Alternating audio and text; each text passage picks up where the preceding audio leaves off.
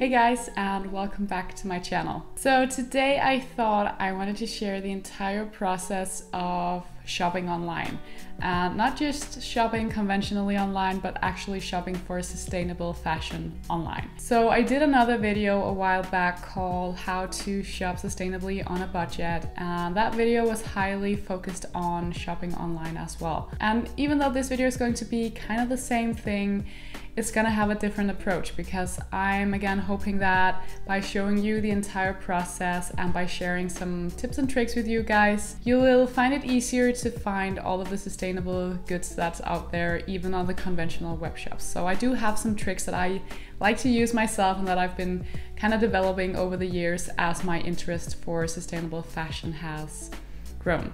Before we get into the video, it's very important to me to underline the fact that I highly agree with that phrase that we can't shop our way to a sustainable future. We need to be better at focusing on what we have as well. So it's all about buying less and better and then working with what you have. So I'm not encouraging you guys to just shop more, but I want to make it easier and more convenient for you guys to find the ethical brands and the items that are basically better made and better for the environment.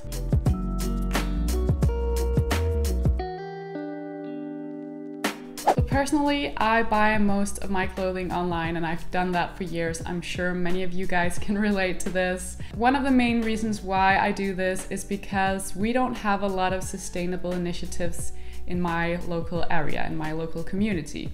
If there were, I would be glad to support it, but because I live in a rather small city, it's just not, we're just not there yet. So for me, the solution is often to go for online web shops instead. I'd just like to say though that I'm working on a series to come up here on my channel very soon where I'm gonna be traveling to different cities throughout Europe and I'm gonna be picking out my favorite sustainable shops, my favorite sustainable hotels, restaurants, all things like that. So that if you're going to Copenhagen, for example, which will be the first episode in this series, I'm gonna have kind of a library for you guys so you can go check that out if you want to shop in physical shops. So coming up very soon for ya. But let's get back to online shopping because that is what this video is going to be all about.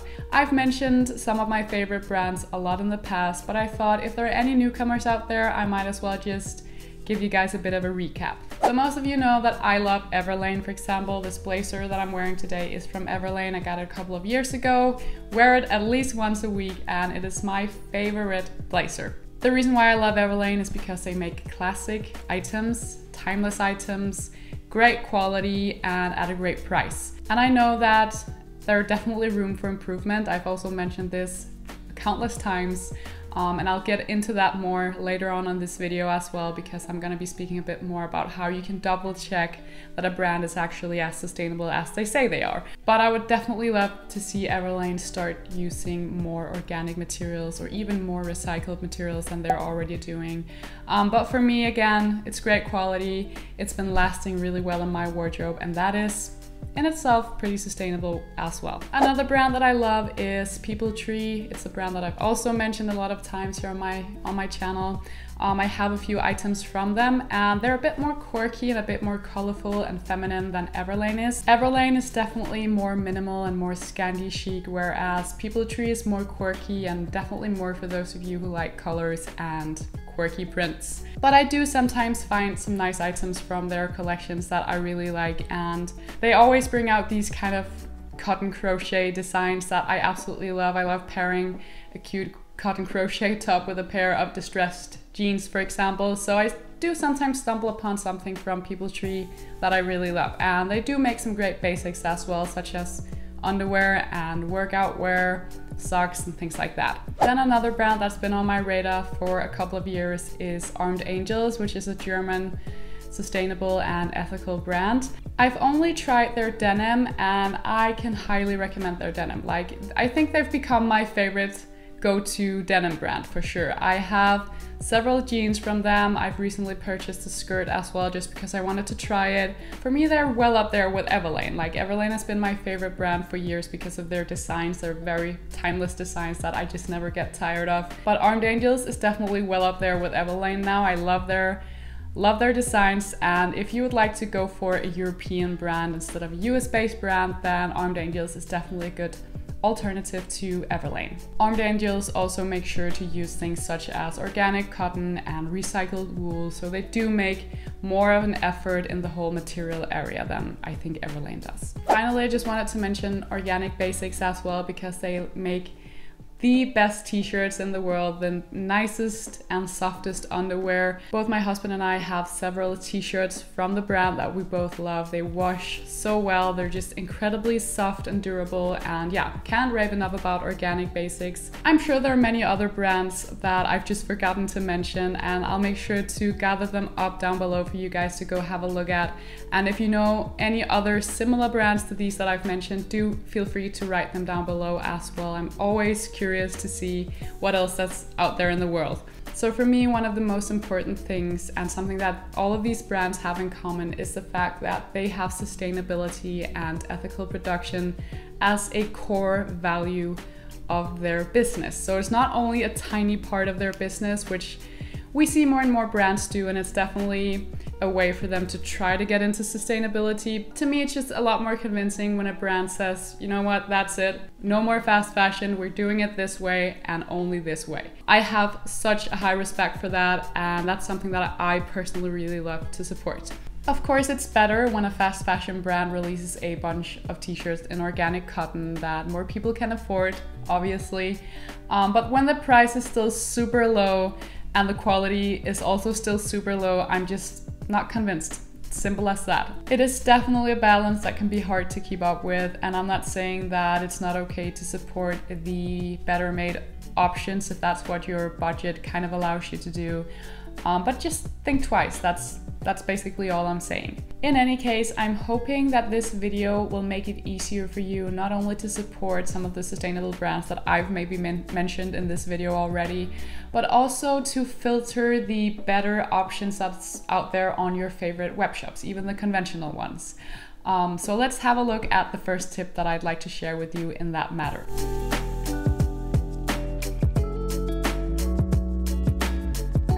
So a way to filter the sustainable options out there from the conventional ones is to practice the art of a great keyword. That's something that I've been doing myself for years, and you can do it on web shops as ASOS or Nordstrom or Boozt, Zalando, basically any kind of web shop that don't really have a section called sustainable fashion yet. I'm sure that that's where we're heading in the future and probably very soon, but at the moment, a lot of these web shops don't really have like a, a whole section or category on their web shop for all of these kinds of sustainable alternatives or brands. Some of the keywords that I like to write in the search bar could be something like organic, recycled, sustainable, ethical, vegan, eco. Maybe you have even more ideas for keywords, but these are just some of the keywords that I personally like to write when I want to filter the good from the bad, basically. I've mentioned this before, but even ASOS have an eco edit. So if you just write eco edit in the search bar, they'll present all of the products and brands that they have in that whole range on their web shop.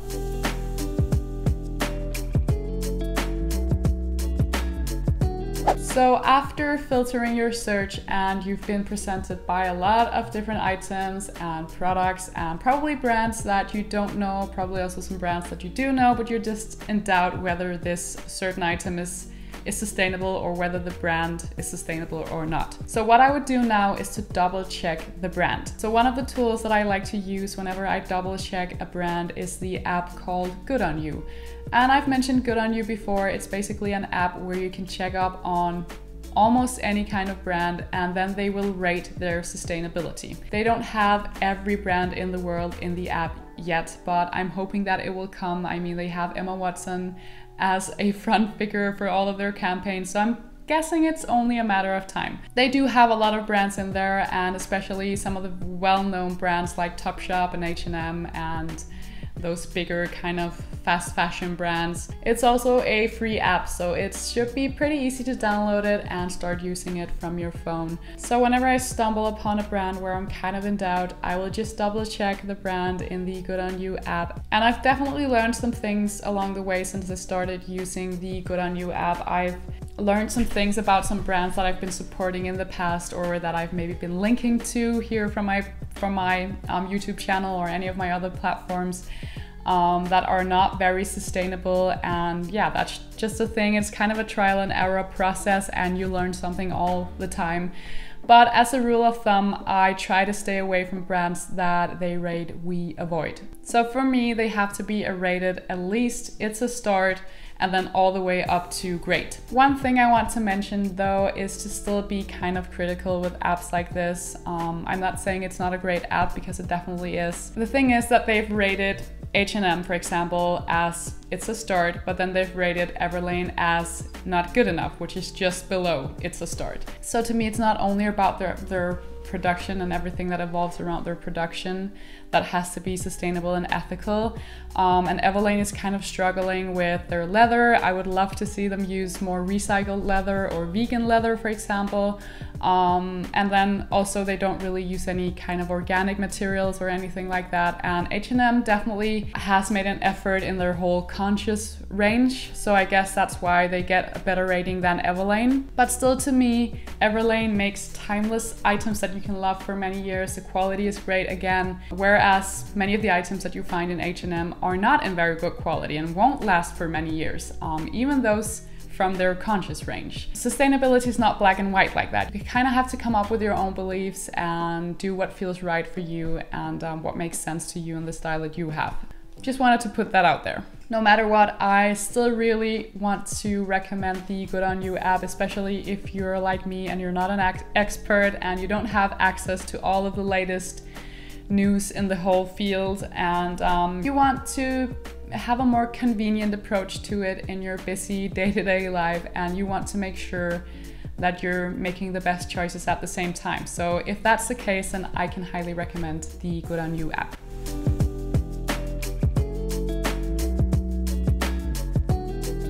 So the next thing that I wanted to mention is another thing that is very important if you want to be a more sustainable consumer when you're shopping online. So that is to use customer services and use the size charts there's provided on the web shop. If it doesn't fit and if it doesn't feel right, you're not gonna use it. It's just gonna sit there in your closet collecting dust and you'll be on the hunt for a new one because it just wasn't right for you. Whenever I'm in doubt, I like to reach out to their customer service. Most web shops have an email or maybe even an online chat that you can write to if you're in doubt with a specific size or anything like that. Also, I make sure to read the entire product description before I even put this item into my cart. Sometimes it will say in the text whether they recommend that you size up, take your regular size, or maybe size down. They will also often write what size the um, model who's wearing the item is wearing, so you can kind of compare that to your own measurements. I also highly recommend that you watch any live videos that might be of the item so you can see how it moves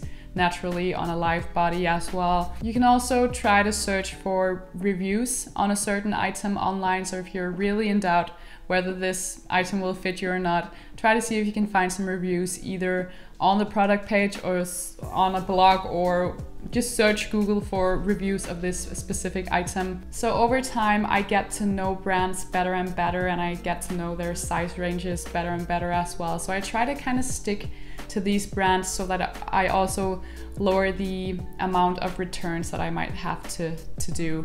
So speaking of returns, I just wanted to mention something that many of you probably already know, and that is the fact that returns have actually become a big, big problem when we look at our environment because we return so much. There's so many web shops that have free deliveries and returns, and it's great for us as consumers. It's convenient, it's a great way to save some money, and yeah, most of us can't really see why we shouldn't use this service. We use so many resources on returns, and it would be better if we all just got better ordering items that we were more sure of and ordering items in the right sizes, which again can be hard, so I get the deal. The most sustainable thing would probably be to shop in any physical stores that you have in your area. But like I mentioned in the start of this video, I just don't have that many sustainable options other than the thrift shops that I do like to support a lot. But for me, supporting the ethical brands is often something that I can only do online. So I've kind of had to come to terms with that. I just mentioned before that I like to stick with the brands that I've gotten to know better because it's kind of a trial and error process sometimes when it's a brand that you don't know. Um, you can do your best and use the tips that I mentioned in the step before um, to use their customer service if you're in doubt with the size, for example. Let me just give you guys an example. So the first time I had to order a pair of jeans from Armed Angels, I actually got them in a size too big. So I ordered the size that I thought that I needed. I was kind of in between two different sizes and then when the jeans got there, they were just too big for me. So I returned them immediately and then I ordered the right size, so I went a size down. And then when I got the new jeans, they fit like a dream.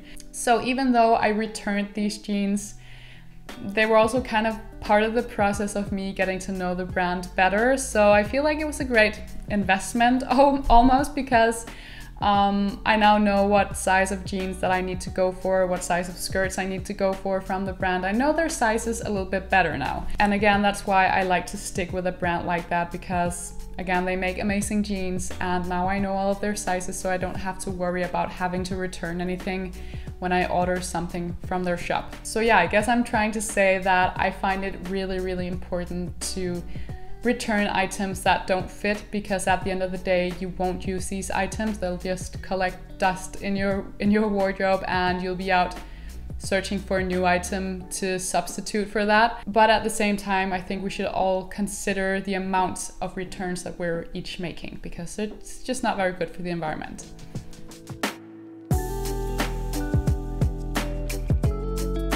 So the final thing that I wanted to mention in this video is kind of just some words on how to handle sales. I definitely know how it feels to be kind of driven by sales. If you haven't watched my video from shopaholic to minimalist yet, I will link it right here on the screen for you to go and check out. But I was definitely a shopaholic before I turned minimalist or before I turned more of a conscious consumer, especially of fashion, I used to always filter my search no matter what kind of web shop it was, no matter what day of the month. I would always filter the search after what, what items were on sale. And then I would put items in my basket purely based upon that instead of saving up for the items that I really, really wanted in the long run as well. And that's something that I would just wear once or twice and then forget all about. Such a waste in so many ways, both a waste of time, waste of money, waste of anything really. Um, and it just resulted in me never really feeling satisfied with my wardrobe. So today I kind of have this approach that there's nothing wrong with a sale like Nordstrom just had their big anniversary sale for example and um, there's also the big Black Friday sale that I kind of have a love hate relationship with as well. Um, there's nothing wrong with saving some money, um, at least if it's on something that you've been thinking about buying anyway, if that makes sense. So it's kind of a balance and you have to be honest with yourself. So, especially if you feel like your budget is a bit too low to support on any of the sustainable or ethical brands that are often a bit more expensive than the fast fashion ones then buying items from these sustainable brands when they're on sale is perfectly fine by me. That's something that, you know, I can't really see anything wrong with that. And again, I can't see anything wrong with wanting to save some money on something that you've been planning on buying anyway. I've also mentioned Shoptagr, the plugin that I've been working with on a couple of videos a while back. And that's another great tool that you can use um, because if you install the Shoptagr plugin, then you'll get a notification if a certain item gets reduced in price. And again, that's another great way of supporting the ethical brands and saving some money at the same time. I think that is about it. I think that's all I wanted to mention in this video. I really hope that this video will get you one step further in the process of making better choices, especially when you're shopping online. I know I've been focusing mostly on fashion throughout this video, but basically you can use this these tips for any kind of product that you're searching for online to become a better consumer. I really hope that you guys enjoyed this video. If you did, don't forget to give me a thumbs up, subscribe to my channel, and make sure to turn on notifications so you won't miss out on any new uploads. Do make sure to follow me over on my Instagram as well for daily outfit updates so you can see how I style my minimal wardrobe. Thank you guys so much for watching. I really appreciate it and I hope to see you all in the next one. Bye guys.